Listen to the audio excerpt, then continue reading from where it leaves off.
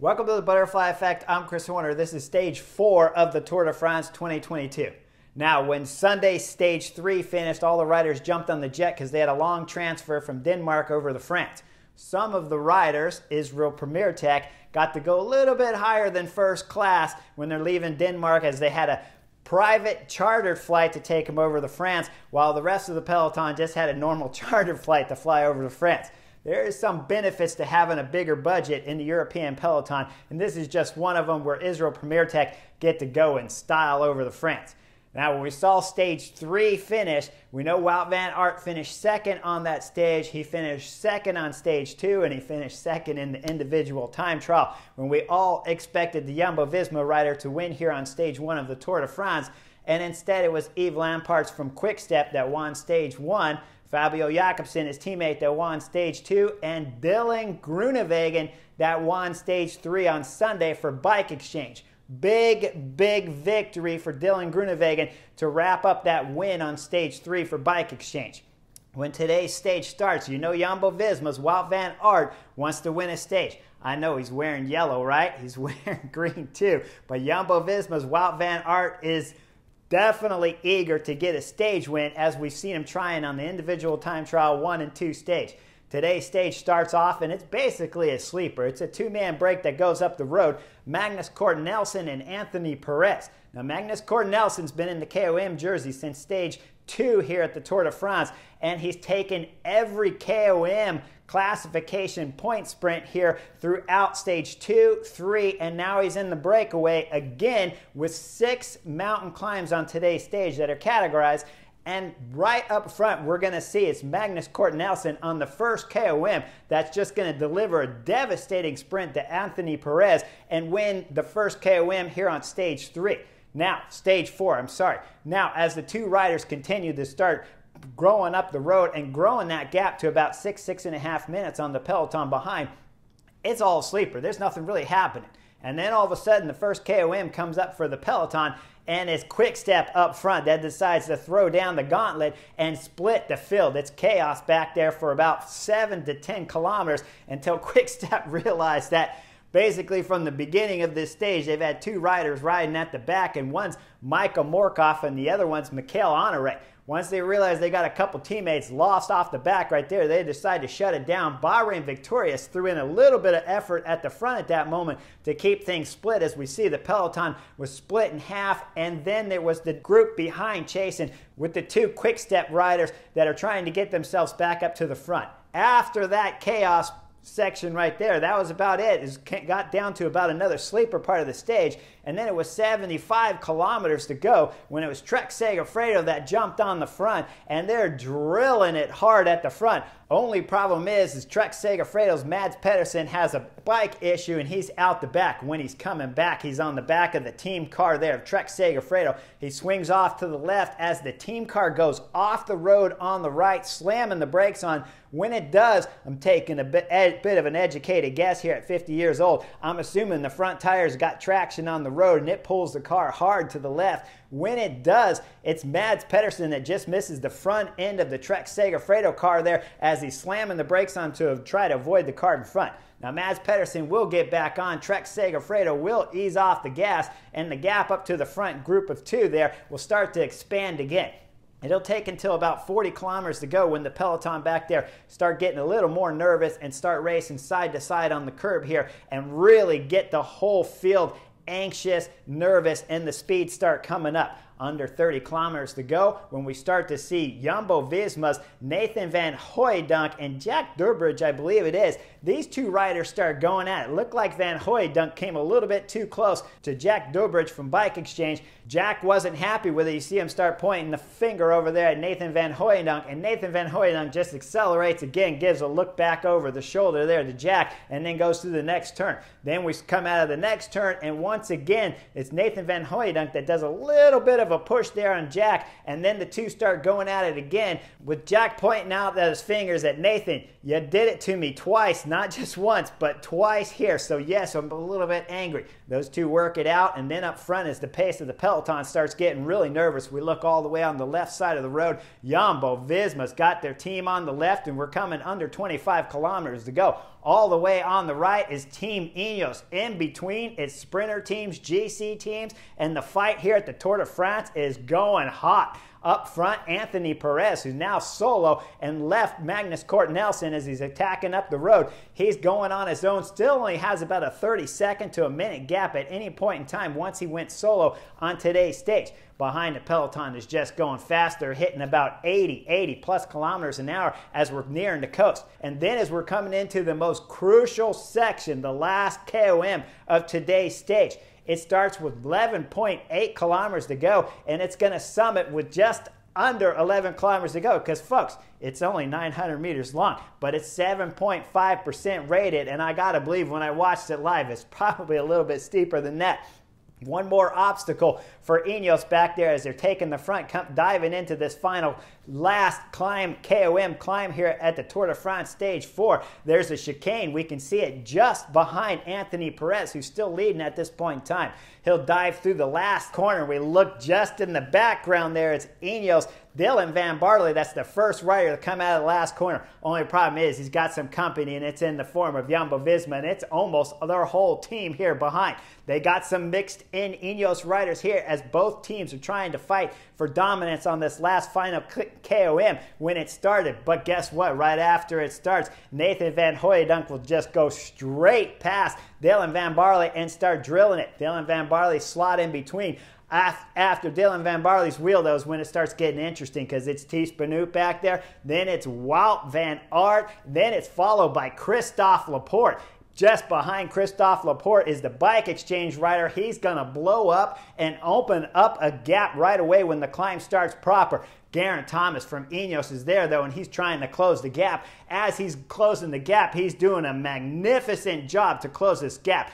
Geraint Thomas, man, you were beautiful at this point in time on this final KOM as you close the gap. But the only problem is up front, it's your teammate Dylan Van Baarle who's sitting second wheel that pulls out of the train that's being led by Jumbo Visma. When he pulls out, remember, up front there is Van Hooydonck front, then it's Tiesj Benoot followed by Wout Van Aert. We all know the MO right now of Jumbo Visma at this point in time. They're trying to drill it as fast as they can and basically, they want a redo of Paris-Nice Stage 1 where they just blew the whole field up. Now on front, still is Van Hooydonck's doing a fabulous job. When Nathan Van, when Dylan Van Baarle pulls off right there, you got to remember, he's dropping off on the right side. There's a gap back here to Tiesj Benoot. Now Tiesj Benoot's going to close that gap. And remember, as he's closing that gap, it's Geraint Thomas in the background doing everything for dear life to try to get the Ineos train of him and Danny Martinez up to the back end of Christophe Laporte.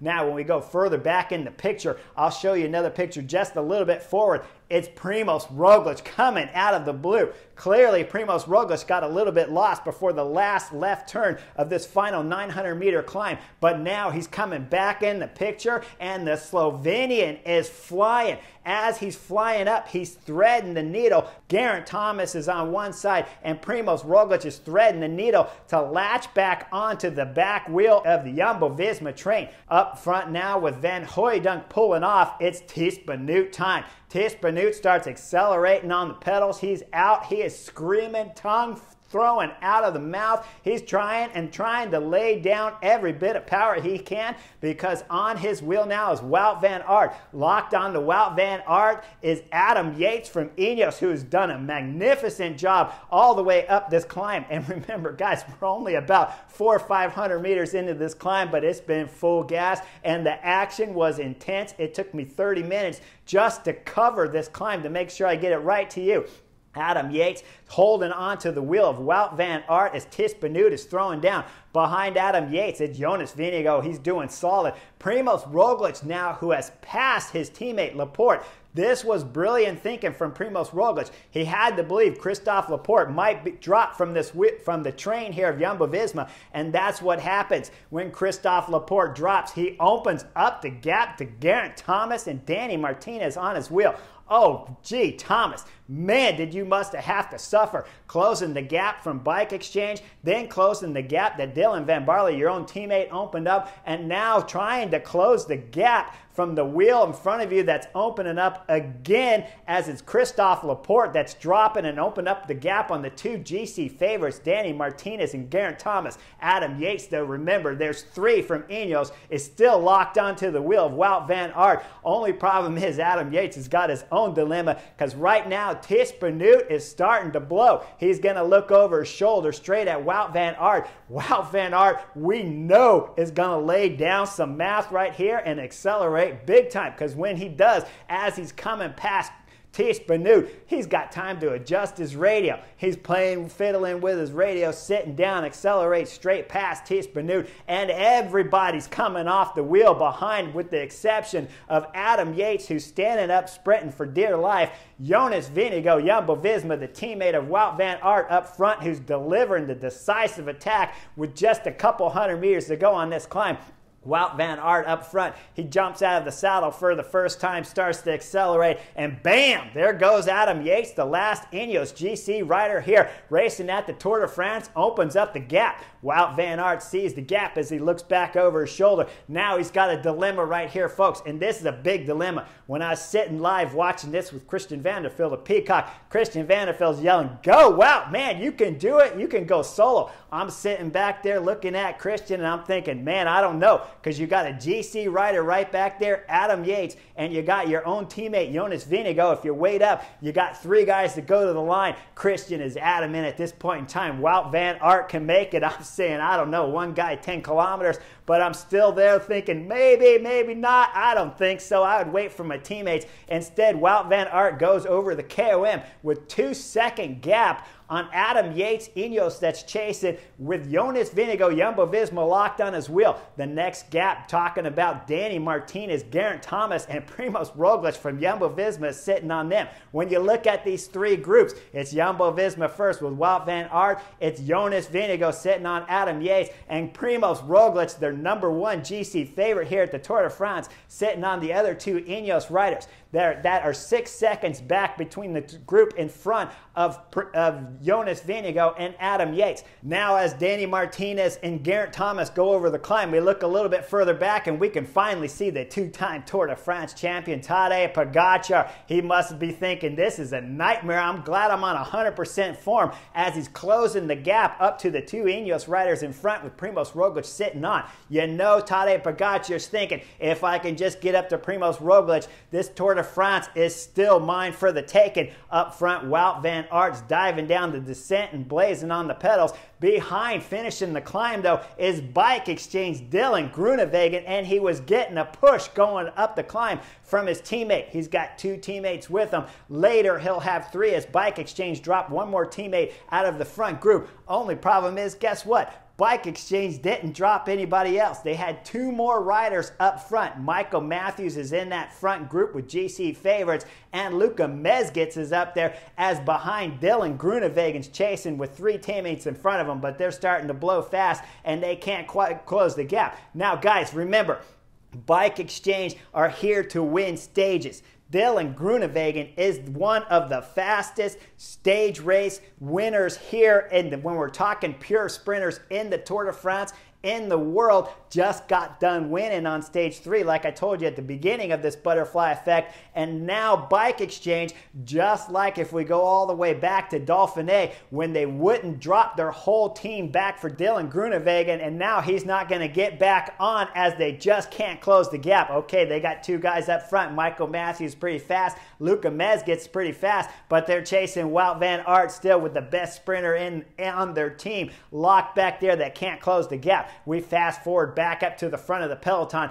That's now about 27 seconds behind Wout Van Aert, and they just can't get organized. Jumbo Visma's Wout Van Aert solo. And then back in the front of the peloton, Jumbo Visma are just causing chaos at the front as no one can get organized. I saw Alpecin Fenix chasing. I saw Quickstep on the front at one point in time. And if you look at the picture, they got one rider, Sénéchal, on the front, and then they can't get their other riders to the front because they suffered too much over that climb. They still have the green jersey wearer, Fabio Jakobsen, the winner of stage one in this group, but yet they still got to close the gap up to Wout Van Aert. Up front, Wout Van Aert with 2.5 kilometers to go. The gap is down to 25 seconds, but the Jumbo Visma rider, he's flying. There's a bit of a tailwind pushing Wout Van Aert, and whenever you have the amount of fitness that Wout Van Aert has, it's magical. He is flying on the pedals. There's no doubt about that, but when you have this kind of fitness, you got a tailwind too, and the guys can't get organized in the back at this point in time with 2.5 kilometers to go. I'm looking over at Christian Vande Velde. Yeah, Boy, you were right. There's no doubt about that, Christian. Wout Van Aert is going to win today. Now, the group behind, they still can't get organized. Jumbo Visma's all over the place. We go under one kilometer to go. The gap's at about 15, 17 seconds to Wout Van Aert just before the line, Wout Van Aert starts flapping the wings. And when you're wearing that helmet and it's Red Bull, we all know what it means. And you're wearing the yellow jersey as he's flying to the line with enough time to celebrate his first win here at the Tour de France for 2022. Now, let me remind you Wout Van Aert, second in the time trial, second in stage two, second in stage three, and now he's celebrating here at stage four to take just a memorable win here at the Tour de France. But guess what? He's not the only one because in the back for second place, Jasper Philipsen, who went all the way against the left fencing with Alexander Kristoff blazed across the line thinking he wanted a posted up for his sponsors and did the victory salute here for second place on the stage. Now, this was a fantastic finish. You don't have to watch the whole stage, but like I said, you got to come through and watch the last 15K and look at all the details. When we really dissect and look at the cover here, of course, Wout Van Aert's easy to see. Then you flip the book open, you read on the next cover, and then it's Jasper Philipsen, the other Belgian rider here, getting second with the victory salute. That's easy to see, but you got to go a little bit deeper because back there, Tadej Pogacar, who bridged the gap, the last one of the GC favorites at the top of this KOM,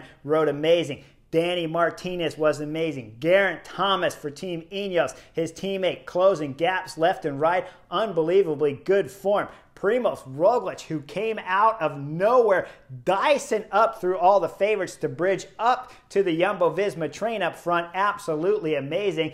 Adam Yates, you were fantastic to hold on to Wout Van Aert's wheel as long as you did. And Jonas Vingegaard, clearly you are still on form. When we look at that stage win on the last day of Dauphiné, it looks like you could be even on better form than that. So when we go forward eh, past the cobblestone stage of tomorrow, stage five, you know we got a Tour de France GC battle. When you look at today's stage four finish up this 900 meter climb, but Wout Van Aert, the highlight for sure, and all the GC favorites, a close second to Wout Van Aert. Make sure you guys like and subscribe. Tomorrow is the cobblestone stage here at the Tour de France. You know there's going to be drama, and you know I'll find it here on the Butterfly Effect. Make sure you like and subscribe, and I'll see you real soon.